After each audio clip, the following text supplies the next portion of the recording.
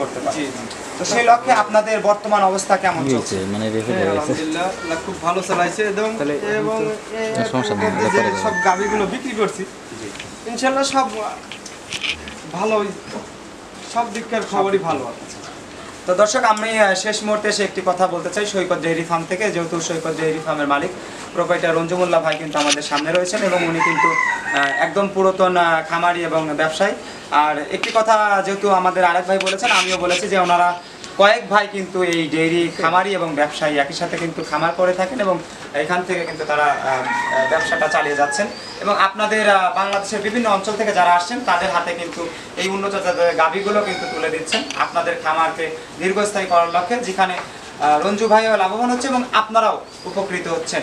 তো সে লক্ষ্য সামনে রেখে আমি বলতে চাই যে আপনারা যারা আমাদের এই ভিডিওগুলো দেখলেন এবং গাভীগুলো দেখলেন যদি আপনাদের গাভীগুলো চয়েস হয়ে থাকে তাহলে অবশ্যই আপনারা সরাসরি আসবেন পাবনা জেলার ভাঙড়া উপজেলার হাড়পাড়া গ্রামে।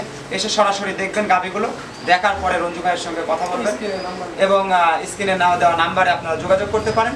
তাহলে যোগাযোগ করলে সরাসরি আপনারা ভাইয়ের সঙ্গে কথা বলতে পারবেন। সে প্রত্যাশা রেখে আজকের মতো এখানে বিদায় নিচ্ছি। ভালো থাকবেন সুস্থ থাকবেন। আসসালামু আলাইকুম।